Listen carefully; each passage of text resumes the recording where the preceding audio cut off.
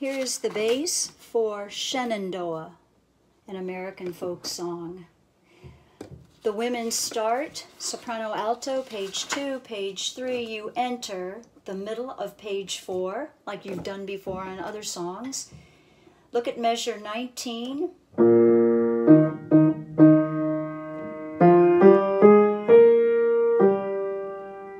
There you have the melody. Let's start right at 19 breath.